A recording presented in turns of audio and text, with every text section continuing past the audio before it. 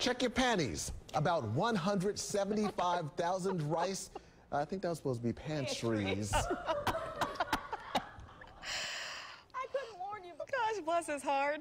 The anchor caught himself accidentally misreading panties. He was supposed to have said pantries. He was just trying to warn viewers about a rice cooker recall.